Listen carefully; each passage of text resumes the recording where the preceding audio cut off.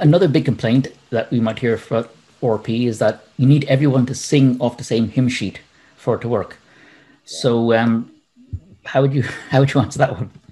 Yeah, again, you know, and, and I can understand all this because you know, at the start, you're you're asking a lot. You're asking people to to change, to unlearn some practices, and then relearn something different, or to maybe to consider that you know you maybe what what you've been doing for 5, 10, 20 years hasn't been the best way of working. And and and you know, I just want to say like I've made every mistake under the sun.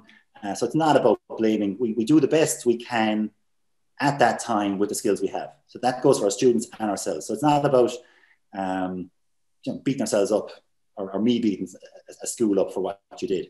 So when, when you know, so when we're, we're trying to learn, um, you know, bringing these new changes, you know, maybe sometimes we're, we're you know, we, we look for, don't want to say excuses or reasons not to do it.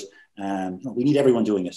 Um, it's no good unless everyone does it. You know, I, I just hear that as oh, I'm worried to make this change. What I would say is start small. You know, you, you probably, if, if, if you've done a little bit of research or gone on a course, you probably, you're probably interested. So, and it is, I say, there is a bit of work to do. There's a journey to go, but just take that first step, you know, just, just whatever it is for you, you know, you, you probably want to consider the needs of students. You probably want to, to change how you do it.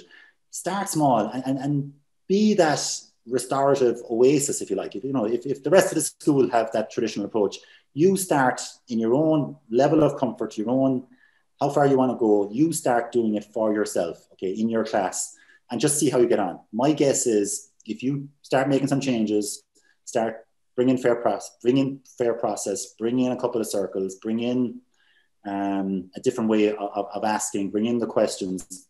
My guess is if, if you start that, um, you will see some some differences. You will see some benefits, and then other teachers will start getting curious.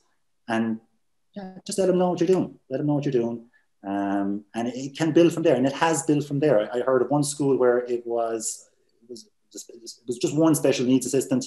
Uh, it was an English school. I remember hearing a podcast. It was one special needs assistant. She was the one who started it, and I don't know exactly how many years, five, six years later, the whole school would have started. So sometimes it's, it's an act of bravery or courage to, to, to, to be the, the, the, the trend setter. Um, but start small, start small. And, and you can, you know, you can, you, you can be that restorative oasis.